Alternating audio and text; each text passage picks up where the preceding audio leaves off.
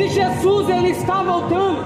Queira você acreditar ou não, Jesus ele deixou a promessa de todo aquele que viu ele subindo.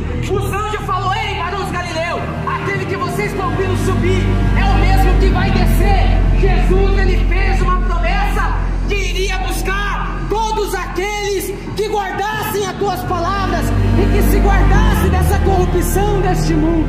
A Bíblia diz: o fim é temer e guardar os seus mandamentos, que é o dever de todo homem. Porque Deus vai te trazer todas as suas obras, quer seja ela boa, quer seja ela má. Hoje muitos vivem achando que não vão morrer, mas um dia, meu irmão e minha irmã, o teu corpo vai tomar, a tua alma irá descolar do corpo, e nós vai ver quem irá beliscar a tua alma.